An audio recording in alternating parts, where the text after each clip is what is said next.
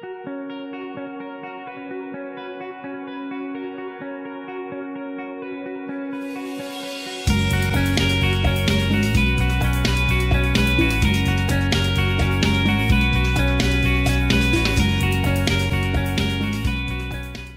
investors have been involved and uh, you know we've had very formal board meetings. We invite the, the, we invite the investor for the board meeting. Also we have strategy meetings where the investor comes and uh, you know we have a very proficient and extremely uh, experienced uh, director on our board. And he uh, really understands the business well. We get along extremely well with him. And you know he keeps discussing with us talks to us on the phone thinks about strategies. And the bigger uh, side of it also is that other than you know smaller uh, interventions which are also very crucial, uh, the investor helps us a lot with with things like uh, giving us openings into various forums, into uh, let's say interviews with media, uh, various conventions. They appoint us to go for some certain talks and you know deliver some lectures about the subject. Exposure basically towards your subject and uh, also gives you a lot of intervention in terms of uh, giving you openings into um, many other institutions, many other uh, foundations that could possibly be of uh, synergy to you.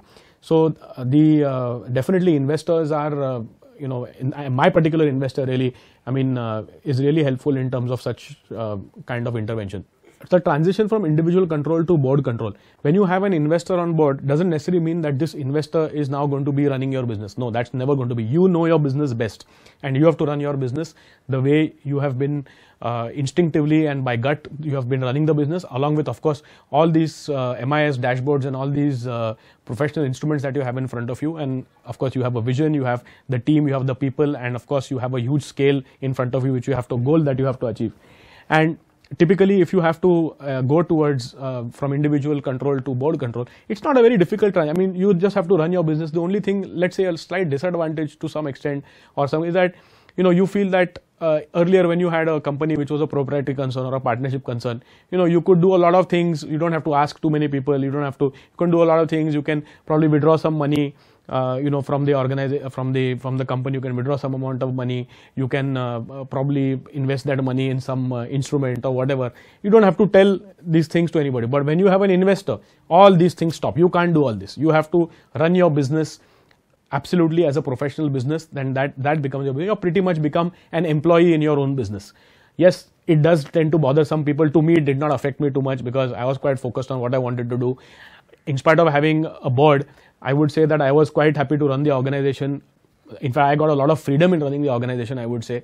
And my investor never bothered me, never bothered my flow and told me, don't do this, don't do that. Why are you doing this? Why are you doing that? No, that they never did that because they had the confidence that if I was probably um, clipped constantly on telling me what to do and what not to do, I would not be able to perform.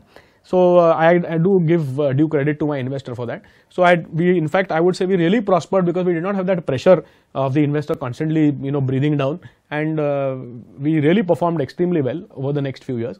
And uh, I mean, I would say that the kind of communication that we had between that we have between the uh, the shareholders, that is the investor, and of course the promoters and all of us, we have a very good communication. You know, we whenever we have a board meeting, we send emails we call up, we invite them for the board meeting. If there's anything that we need to communicate towards something which is extraordinary, we definitely immediately send them an email. We communicate it properly so that there is no misunderstanding uh, really that that happens. And of course, uh, uh, you know, talking about corporate governance and uh, transparency, no, as we grow the organization, you have to move towards becoming a corporate structure, be, becoming uh, really like a uh, you know like a big name in the industry. You have to have governance, you have to have corporate governance, you have to have uh, a recruitment, you have to have a compensation committee, you have to have a audit committee, you have to have all kinds of committees in place. You have to call people, uh, you know, get in touch with the right kind of people who can be appropriate for these committees, who can actually tell you really that yes, what you're doing is not right, or maybe you should do this. This is the right way to do it. So and so company did it this way, and this is what happened. So those kind of uh, uh, inputs are extremely useful. And uh, moving towards corporate governance, I would say that we are slowly moving towards that in a you know in a in a very very strong way, and we already have a lot of things already in place. But there's always room for improvement. And we're constantly bettering ourselves. We're wanting to do uh, you know more than uh, you know what we can really uh, want to do. And really the industry is ever expanding. There's so much of work that is there outside to be done, and uh, I'm quite confident that moving forward, this kind of corporatized structure or growing in a certain scaled as well as very programmed manner is always more helpful than doing this sporadic kind of growth, which is uh, I don't know how helpful it would be. So I think uh, corporate governance and transparency very important. You have to share, you have to discuss everything. You should not hide anything. It's always helpful for all of us. It's like a you know it's like a family thing. You have a problem, you discuss it. It's best to thrash it across the table. Yes, voices get raised, people will yell, shout across the table, but at the end of the day, everything is settled and you're moving forward. in every organization, when there is an investment of a private equity or uh, a venture capitalist, there always is a exit plan for the venture capital uh, company in the sense that uh, they are not going to be a part of our partnership forever. They're not going to be a part in the company forever. They are always definitely going to have a plan that they want to exit, and they, uh, you know, they of course every investor has their own plans.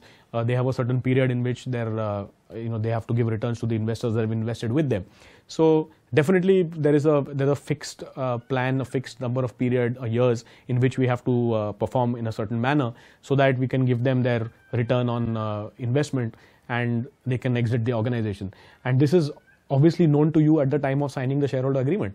And you have to work towards that exit. Either it could be by getting another larger private equity investor to buy off the previous one or it could be a strategic sale whereas whereas uh, where you can find a person who is a much larger company in your organization and would like to buy you out. So that could be a great exit plan for a uh, for an investor. It could be an ipo so you can do an ipo and exit by way of ipo so as long as you know that yes that these people are not going to be with me forever and now this is going to be an ongoing process. So you have to look at the next stage and the next stage and the next stage. Because ultimately the pie is just becoming larger and larger and you have you are a part of that pie and at some point of time probably you want an exit. Uh, it is uh, you know it is probably uh, going to take some time but then of course it's completely up to uh, the promoters. It's up to the life cycle of that business see how fast it's growing. Again it's up to you how long you want to be in the business. You might want to continue doing that business and probably get sold out completely and continue to come back to work for that same company and uh, that's how many companies have really grown. They've really scaled. There are umpteen number of examples in the in, in the market. Uh, and i think uh, i feel personally that uh, when you take private equity exit is imperative. I mean there has to be an exit plan. And you must accept it in the beginning that this is how it's going to be and you have to work towards it. So whether it is creating a surplus towards paying the investor or whether it is creating some kind of a strategy that yes at this point of time i must bring in this uh, person to buy off the investor's uh, stake or whether it is to uh, do an IPO at a certain point of time, all that needs to be planned and you must have all this in place. Uh, you must have the right kind of recruitment that you got to do. So have a good uh, CFO in place. You got to have a good sales team in place. You got to have a uh, entire second level of management that you have to start from scratch and build up so that all these plans of exit, all these plans of uh, strategy, everything falls into place and you can actually succeed in what your goals and your initiatives are.